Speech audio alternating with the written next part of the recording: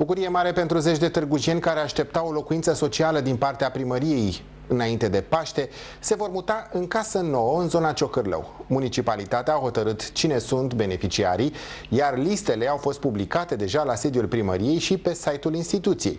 Cheile locuințelor sociale vor ajunge la beneficiarii la începutul lunii aprilie.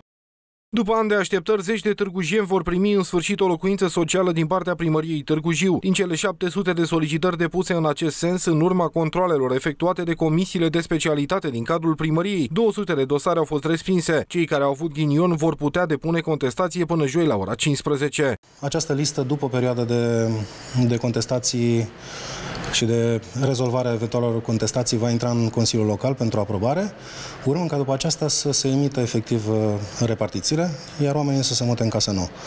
Aceste locuințe sunt în zona Ciocârlău, uh, unde în anii trecuți au mai, au mai fost construite două, două blocuri de locuințe, tot două s-au construit și acum, deci în total 60, 64 de locuințe. Cei 64 de beneficiari își vor putea petrece sărbătorile pascale în casă nouă. Luni, în cadrul ședinței de Consiliul Local, vor fi aprobate listele, se va finaliza astfel această procedură, după care vor putea să încheie contractele pentru utilități, uh, partea de energie electrică, partea de gaze, partea de apă și canal și să primească, bineînțeles, cheia pentru unitatea locativă.